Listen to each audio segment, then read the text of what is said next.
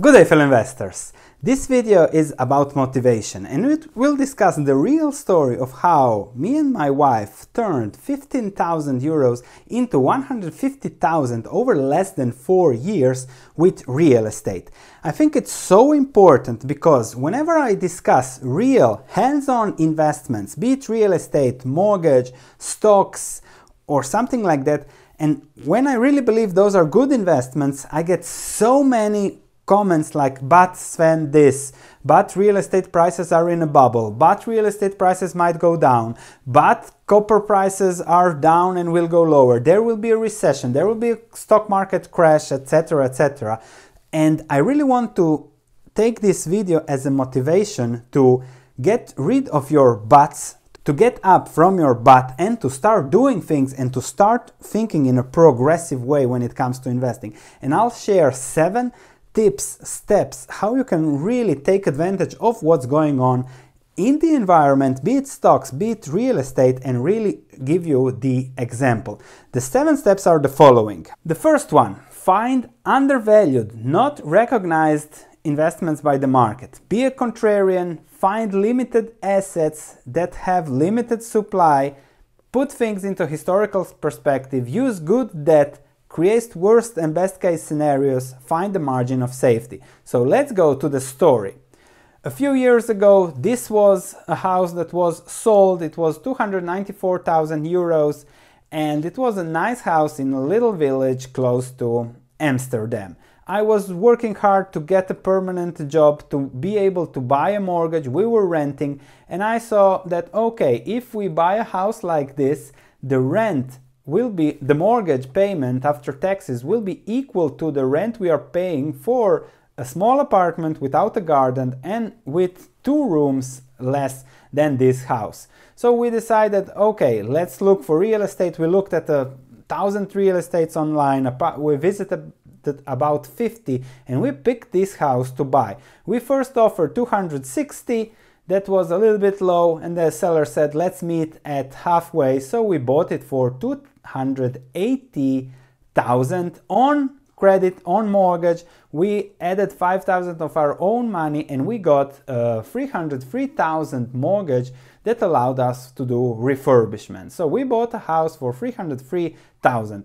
It was a terrible looking house. It was a healthy house, that's why we bought it, but it was a cheap house, it was a crowded house, it was a dirty house, it was not a well maintained house because the seller was forced to sell because of uh, divorce unfortunately and he, he, wa- he was very keen on that house, so he didn't want to sell. As, as you can see, it doesn't look at all attractive, but the walls were healthy, so we said, okay, we're going to buy this and we're going to turn it into something we like.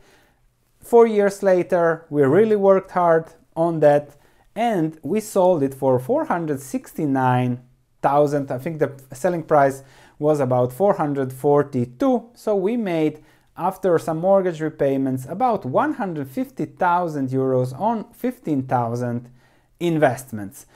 Look at what we did. We simply refurbished the complete house, put new floors, wooden floors, painted the whole house. It looks really differently than it looked before. Put in a new kitchen. I'm not even going to show you what the kitchen looked like uh, back then. This is the office, my office where I worked a lot. Also on these videos, and uh, while we were living there we refurbished the rooms also wooden flooring upstairs uh, in the attic also i redid the garden it was some people go to the gym and pay a monthly subscription or you can take your own garden and fix it and trust me it works better than the gym so let's start on the points. One, it was undervalued. Why it was undervalued? I went, I paid for catastrophe cadastral data to get all the prices of all the homes sold in the last five years in the area. And I saw that a house 20 meters from this house, equal house, was just sold when I was buying that one for 440,000 just because it was refurbished. And then I said, okay, it looks like there are no prices below what we are paying. So we are paying a bargain bottom price. And the upside is very very high just from refurbishing. Because in the Netherlands especially in that area people don't like refurbishing. They want to get in their slippers into their new house. It has to be perfect. That is worth 50,000 100,000 euros. So that was one. We were looking at the whole market and buying a bargain. So we made money. I think 50% of what we made came from the refurbishing 50% because home prices went up over the last four years. So that's one. Number two, be a contrarian. So this is the Dutch home price market. You see how home prices in the long run go up, but there are always these booms and busts, and these busts can be very terrible. So when we were buying a house there, everybody was saying, Sven, don't buy, don't buy, prices, prices might go lower, you might be in trouble, underwater, blah, blah, blah. But we decided not to look or bet on prices going higher or lower and many of you are waiting for lower prices or higher prices. We just looked how the rent for the similar home would be 1800 back then now probably above 2000 mortgage costs after tax was 1100 so we had a margin of safety there. We could always rent out the house and simply after 25 years to have a house, probably home prices in the Netherlands, given what the ECB is doing, will continue to go up, up, and up with a fixed mortgage. You know what the deal is there. So, win win situation. Number three, limited supply. This is the area we were buying into. So, you see Amsterdam, and then you see this green area, which is one of the richest areas of the Netherlands. The soil is not fertile, so you don't have agriculture, but you have trees, you have woods, and you have a lot of villas. And we liked the green area, and then we said, okay, let's buy here. Plus, this is the area of what is sold, the map from the Dutch Zillow, let's say, or Rightmove.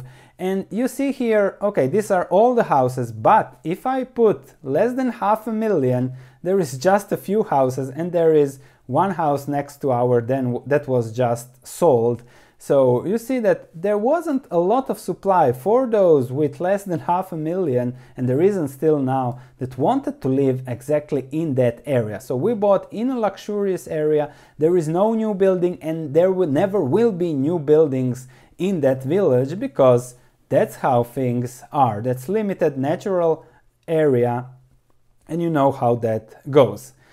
Then again, putting things into historical perspective, before it was being a contrarian because nobody wants to buy, but long term home prices go up, there might be ups and downs as I said, and the central bank is cutting its deposit rate, lowering interest rates, helping those that are in debt like the Fed, and that's it. Number 5, use good debt. I made a video about a fixed mortgage, so check that out.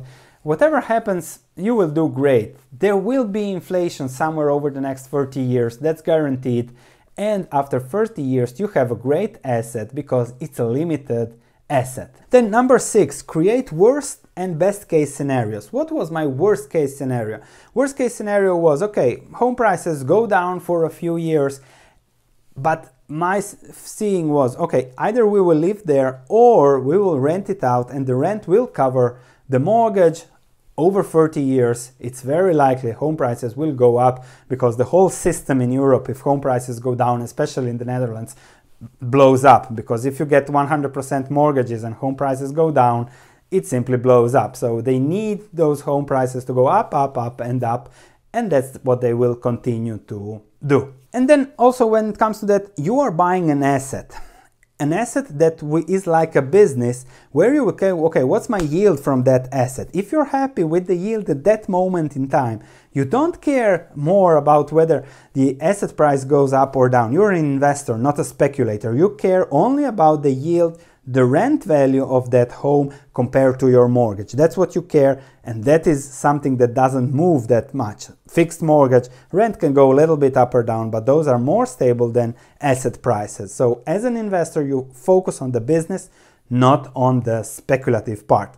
When the speculative part explodes, that's a best case scenario as it happened for us. So, when that happens, okay, you take your money and you see to deploy it otherwise, other things. Even if I still think it is a great investment, if I would have kept my equity in of 150,000 in 20, 30 years, it will be a million mortgage paid out from renters as I move to another country. So that would be a nice four bagger over 30 years. We took the money out because I think we can do better on the next real estate project, which will also be a hands-on project where we take advantage of bargains, etc., etc. Same story as we are doing here. We have something, we're looking at something, but I'll uh, share more when we actually buy something, hopefully over the next six months, one year. So don't forget to subscribe. Number seven, number seven, margin of safety. For me, it was the rent versus the mortgage, the fixed mortgage, protection for inflation, house prices going up, really limited area close to Amsterdam 20 minutes 22 minutes by car. So really really something good. John de Mol one of the richest Dutch people uh, was living uh, 800 meters from me. One of the best schools in the whole area of the Netherlands was 200 meters from there and you automatically get your kids into it if you live there. So a lot of positives but nobody was looking there because you could buy somewhere else less luxury area something for the same house for 100 120 lower. So for living it was still luxury 4 years ago. It's still now but it was a bargain in my perspective. And to conclude if you use such seven steps, you look for win, win, win, win, win, win, win situations.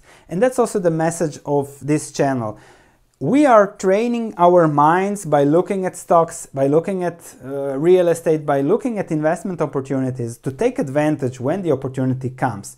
If you take advantage of such opportunities twice in a decade, over 50 years, you're a multi multi millionaire, and that's how things are done. Be it stocks, be it real estate, be it other smart investments from businesses, but you have to have a patient mind a long-term mindset, an investing mindset, and take advantage of those things.